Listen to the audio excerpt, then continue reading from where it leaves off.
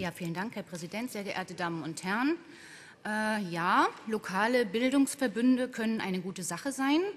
Äh, die großen Knackpunkte in unserem Bildungssystem sollen mit den Bildungsverbünden angegangen werden, nämlich die Übergänge zwischen den Institutionen Kita, Grundschule, Jugendfreizeitbereich, weiterführende Schule, Berufsbildung oder Studium. Diese Übergänge sollen fließend werden und nicht mehr wie so häufig Brüche sein. Kinder sollen so bessere Chancen beim Zugang zum Erwerb von Bildung bekommen. Das ist alles schon ausreichend beschrieben worden von Herrn Langenbrink und auch von Frau Bentele. Uns kommt es aber darauf an, diese Bildungsverbünde qualitativ besser auszugestalten. Wir alle haben ja am 4. Juni bei der Anhörung die Experten gehört. Es geht bei den Bildungsverbünden nicht nur darum, weitere zu schaffen bzw. die Angebote wild auf alle Bezirke auszuweiten. Es geht vor allem darum, dass die Unübersichtlichkeit bei der sehr vielfältigen Finanzierung und die Anbindung an die Quartiersmanagements überprüft werden müssen.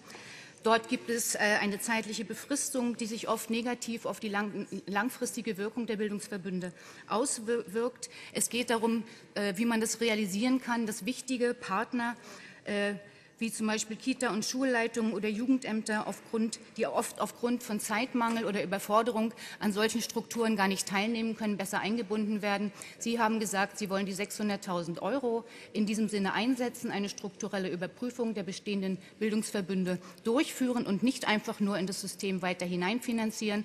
Das kann ich nur begrüßen.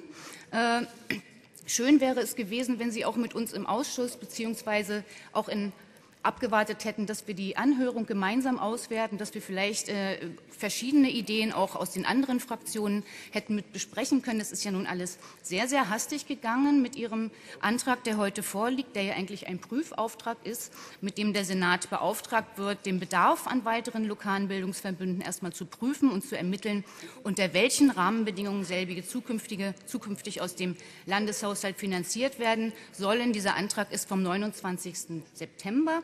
Und bereits zwei Tage später hat äh, die Koalition den Änderungsantrag im Ausschuss vorgelegt, im Hauptausschuss in der zweiten Lesung und durchgewunken. Und da wir davon ausgehen, dass auch Sie Ihre Änderungsanträge mit den Haushältern, Haushältern rückkoppeln, wird das Geld wohl fließen. Das ist ja nun heute auch ganz deutlich geworden. Ich finde diese Vorgehensweise nicht besonders parlamentarisch und äh, würde mir wünschen, dass zukünftig solche wichtigen Entscheidungen auch mit anderen Kompetenzen besprochen werden. Dankeschön.